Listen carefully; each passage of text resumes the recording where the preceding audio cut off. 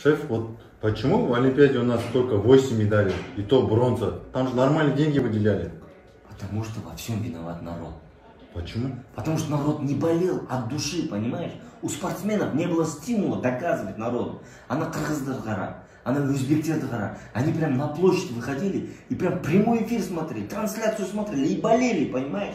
Но у нас же нормальной трансляции не было. А почему не было нормальной трансляции, знаешь? Потому что народ виноват. Надо заранее заказывать у Министерства информации. Они же не знали даже. Они не подготовились. За два дня қалғанда кім трансляция? Тоже народ странный.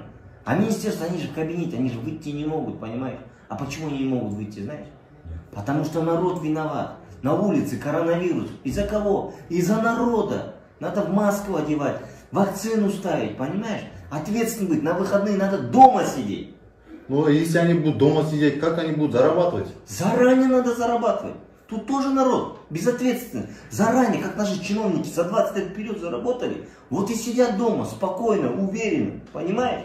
А, понятно.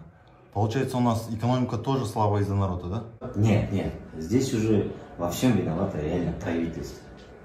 А знаешь почему? Почему? Потому что в правительстве люди работают из народа. Понимаешь? И тут народ виноват. Это элементарная вещь. Везде